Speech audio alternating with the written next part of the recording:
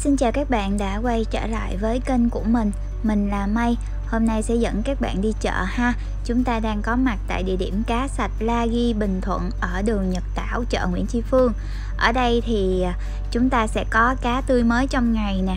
Và khi mua thì mình sẽ cân bằng một cái cân tiểu ly như thế này. Giá cả vô cùng vô cùng là tốt luôn.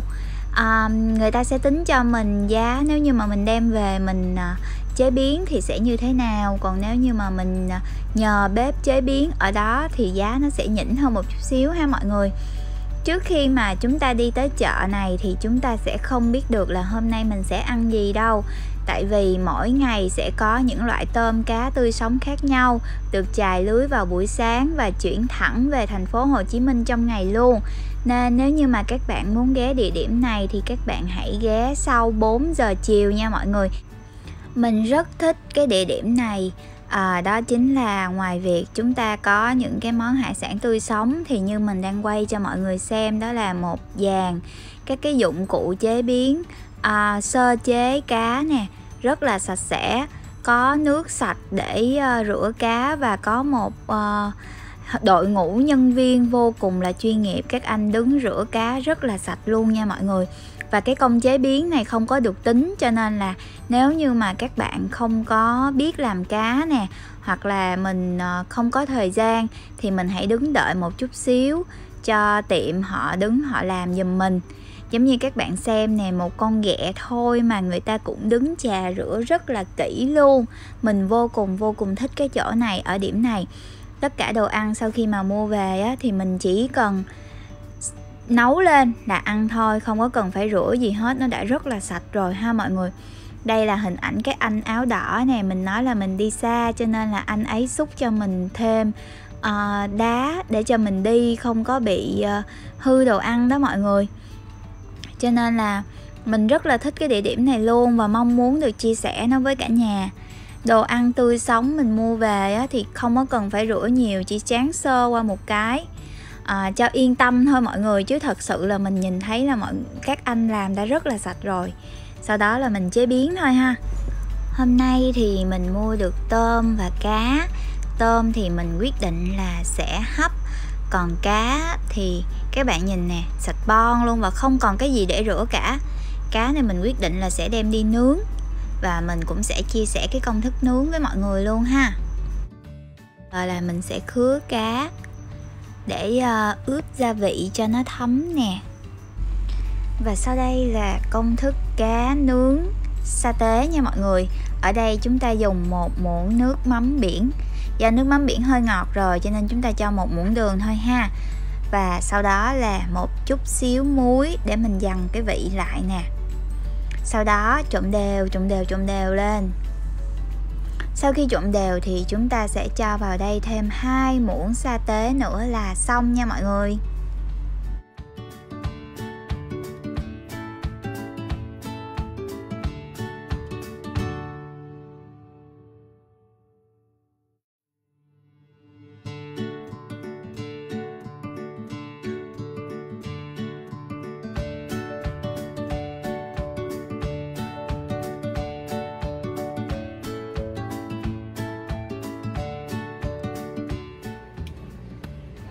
Chắc hôm nào đó mình phải quay giới thiệu với mọi người cái nồi hấp bằng điện này của mình mới được. Ta nói nó đa năng kinh khủng luôn. Và có nó trong gian bếp giống như là có một trợ thủ đắc lực cho các món hải sản vậy đó mọi người.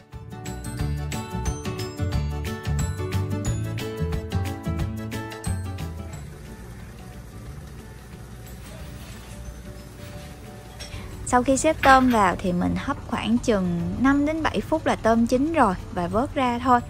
Đây là tất cả rau sống mà mình sẽ ăn kèm với món cá nè. Yummy. Bên cạnh bàn nồi hấp thì bây giờ chúng ta sẽ dùng cái nồi chiên không dầu để mình nướng cá luôn. Và mình à, bật chế độ lửa lớn nhất, Mình lót một lớp giấy bạc vào, Sau đó là cho cá vào và nướng thôi ha mọi người? Thực sự nó là lửa lớn nhất nhưng mà cái lửa này nó cũng sẽ không có quá áp đâu. Cho nên là mình sẽ chỉnh 15 phút cho mỗi mặt nè thao tác rất rất đơn giản vô cùng đơn giản. Vậy là xong. Tôm của mình đã chín rồi bây giờ mình cùng gấp ra nha cả nhà. Đừng để tôm chín quá lâu nó sẽ không có còn ngọt và ngon nữa. Tôm nếu bạn mua mà còn tươi rói như vậy á, thì chúng ta chỉ cần hấp hoặc là nướng sẽ giữ được cái đúng cái mùi vị của nó và ăn sẽ rất là ngon rồi không có cần phải thêm nêm nếm thêm gia vị gì nữa nha cả nhà. Bây giờ mình sẽ chia sẻ với các bạn công thức làm nước mắm để ăn với lại cá nướng nha mọi người. Hôm nay mình làm được một cái chén nước mắm ngon thần sầu luôn.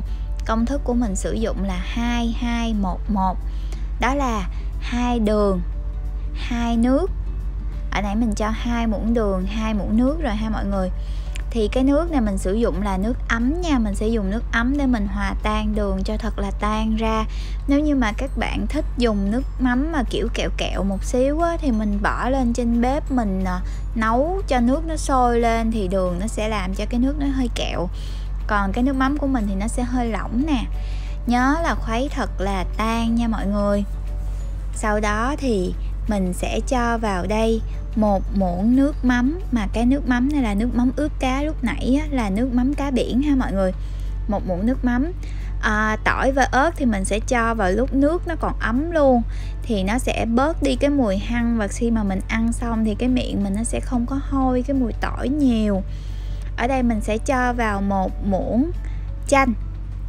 Mình nhắc lại công thức là 2211 là hai đường, hai nước ấm, một nước mắm và một chanh nha mọi người. Cái công thức này thì cái nước chấm nó sẽ tương đối là nó hơi chua chua, ngọt ngọt, thanh thanh, rất là ngon và rất là kích thích vị giác. Mình ăn nhiều mà không có hề ngán luôn. Cứ muốn chấm hoài thôi.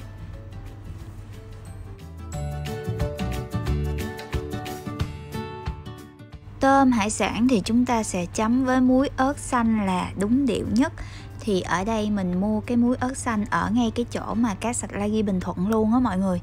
Họ làm rất là ngon, cái khẩu vị nó hơi ngọt ngọt, đúng với cái khẩu vị của mình nên mình thích lắm. Sau ờ, khoảng thời gian 15 phút thì bây giờ cá của chúng ta chín rồi nè, mình cũng gấp ra nha. Vậy là các bạn thấy đó, sau khi đi chợ về chỉ cần chưa tới 30 phút là mình đã có được một buổi ăn đầy đủ sắc hương vị rồi và đồ ăn tươi sống vô cùng ngon miệng luôn. Là có thêm một bí quyết nữa muốn chia sẻ với mọi người đó là khi mà mình ăn những cái món cuốn với cá nướng như thế này nè thì à, gia đình mình hay học theo cách của người miền Trung đó là chúng ta sẽ nhúng một ít bánh đa còn gọi là bánh tráng à, nó giòn giòn á mình nhúng vào trong nước một chút xíu nó sẽ hơi mềm nhưng mà vẫn giữ được độ giòn của nó. Thì khi mà mình cuốn chung với rau ăn kèm với nước mắm vô cùng ngon luôn các bạn hãy thử nha.